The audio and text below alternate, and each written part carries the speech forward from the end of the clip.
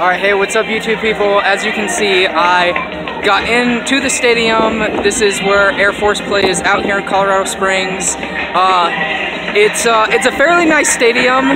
Uh, if, well, for one, I, I just want to say I hope you guys can hear me because they've got the music in the background.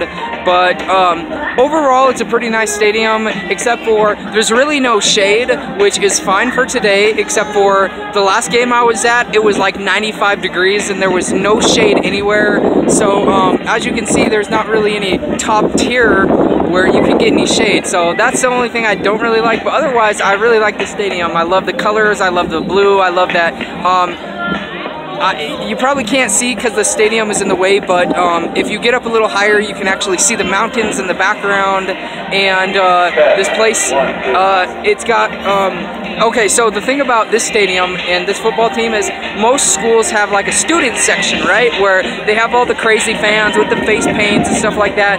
Um, the only thing is this doesn't really, but they have like a cadet section where they have a bunch of military people and they're all jumping up and down and waving the flags and stuff. Um, so I thought that was kind of cool. They don't have a student section, but they have like this military set, and I think it's gonna be like right over here or something like that, where they have like all the uh, military officers and uh, yeah, dude, it gets kind of rowdy uh, at the Air Force Base. So um, anyway, I just wanted to make a video. I'm here, I'm live, I'm seeing the game live, and I uh, probably post a whole bunch of extra pictures and probably do a couple more videos, but I wanted to put this one up, and I'll see you guys next time.